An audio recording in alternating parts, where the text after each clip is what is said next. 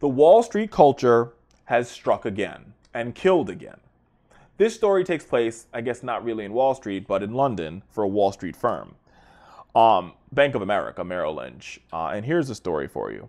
So, Bank of America Merrill Lynch has a seven week intensive internship program. It's a pre graduate program. Um, and this particular, this, particular, this particular program is based in the London office of Bank of America. And Moritz Erhardt um, was the graduate that we're talking about, the person that was in this pre graduate program. And Mr. Erhardt, in order to get all the work done in this crazy, crazy, intensive, greed filled world, which is what Bank of America is. And if you don't believe that, check out how check out all check out all the fees they charge you to have a bank account at Bank of America. So in order for like them to get all the greed, you just got to always be working. Clearly, this is what happened in this story.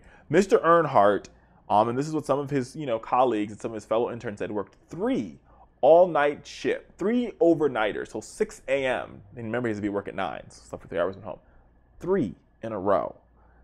After doing those three overnighters, he ended up having a seizure and was pronounced dead on the scene. Another example where this whole culture, this whole, you know, Wall Street banking, crazy, extreme work hours culture. And I've talked about this before. I remember specifically talking about this with an interview I did when I was filling in for Thom Hartmann on the RT show, um, where we had this conversation about the Wall Street culture and how crazy it is and how deranged it is for you to work these ridiculous hours that are clearly not humanly possible, and they may result in death.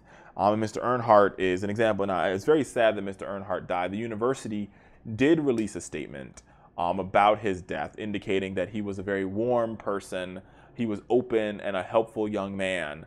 Um, but sadly, he will not be returning um, to his home university uh, and beyond and the University of Michigan, um, Rose Ross School of Business. He won't be returning there because he is no longer with us because greed, greed kills, clearly.